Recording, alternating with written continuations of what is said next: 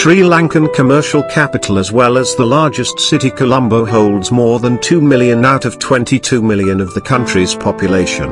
Colombo got its name once the Portuguese arrived in 1505. Since then, the city landmarks show the signs of Dutch and English arrivals.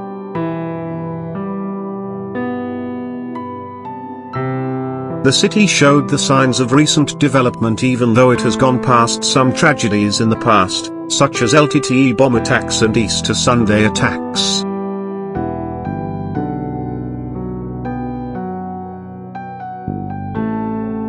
Colombo has few historical landmarks, parks and beach parks, museums, historical and religious buildings are some of them.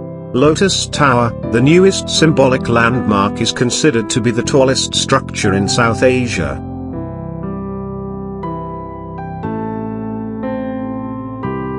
Colombo is a perfect city for shoppers. Bustling shopping streets to luxury shopping malls serve the needs of all kinds of shoppers from all over the world. Whether you want to taste a delicious seafood meal or to have an Ayurveda spa treatment, Colombo has it all. The city has a good transport system. Trains, buses, tuk-tuks, and taxis are major modes of transport to get around the city.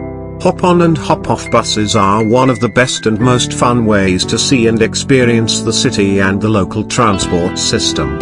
This video depicts 11 of the most visited attractions that most visitors urge to see in the Sri Lankan capital.